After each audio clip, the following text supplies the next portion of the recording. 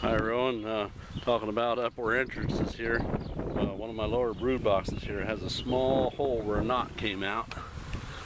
And they're using that uh, quite readily here. And I also have a little piece of wood missing out up, up above one of these honey supers here.